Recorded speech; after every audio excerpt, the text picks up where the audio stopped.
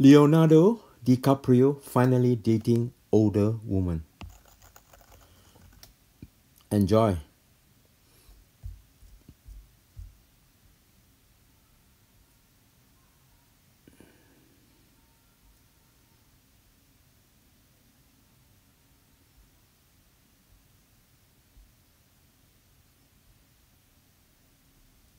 Done.